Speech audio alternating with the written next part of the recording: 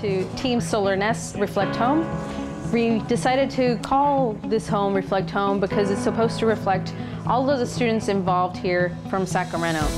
Our initial approach to this competition was to reach out and grab the expertise of the various departments we have on campus. So uh, we immediately contacted our design department, our public relations department, mechanical engineering, and construction management. And we all, we all collaborated to bring this project to reality. And it's been a fantastic learning opportunity for everyone involved. We have solar panels, dimmable lighting. We have a rainwater collector due to the drought. That was one of the aspects that we thought about. We have several lighting fixtures that have been placed exactly where they need to be placed to take into account the energy efficiency. We have operable windows that have been placed so that we have a certain amount of breeze coming in through the home and out. Skylights are, are designed to allow filtered light onto the patio while still generating about a quarter of the power that the home is going to be using. These skylights were designed by a team of mechanical engineering students here at Sac State.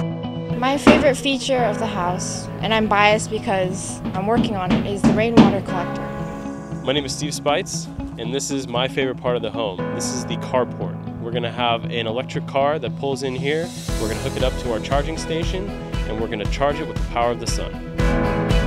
This is my favorite part of the house. I love this part of the house because it really emphasizes the indoor-outdoor connection. It's a reflection of Sacramento. It's a dream house. It's affordable.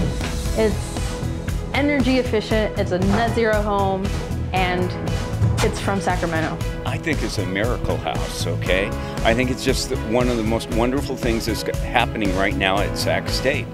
It's a house that's built for people to live in, but it's a house that's beautiful, it's affordable. It's a house that I would like to live in. My name is Troy Anderson. I'm a construction management student, and the Reflect Home reflects me. Hi, my name is Joanna Choi. I'm a mechanical engineering student at Sac State, and the Reflect Home reflects me. My name is Lindsay Crosby. I'm an interior architecture and design major, and the Reflect Home reflects me. Stingers up!